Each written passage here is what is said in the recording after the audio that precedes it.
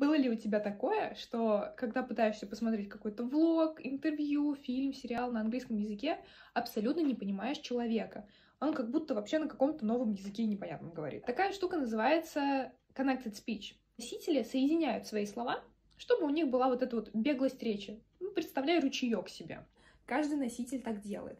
Не потому, что ему хочется усложнить э, жизнь любого человека, который учит его язык, но просто потому, что так проще разговаривать. Когда мы соединяем близко стоящие друг с другом слова в одно слово, например, когда у нас э, редуцируются, то есть пропадают какие-то звуки, когда звук добавляется, или когда у нас вообще какой-то новый звук появляется в слове. Один из базовых примеров такой connected speech — это тот вариант, когда у нас одно слово заканчивается на согласный звук, а следующее слово начинается на гласный звук. An apple, например.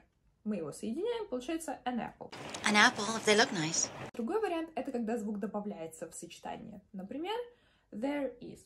Our operation is small, but there's a lot of potential. То есть он удваивается. Следующий вариант — это когда пропадает звук т или д в конце слова.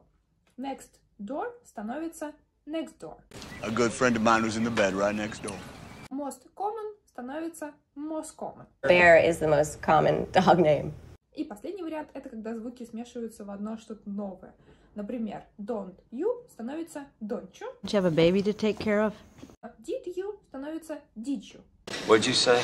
Вот и все.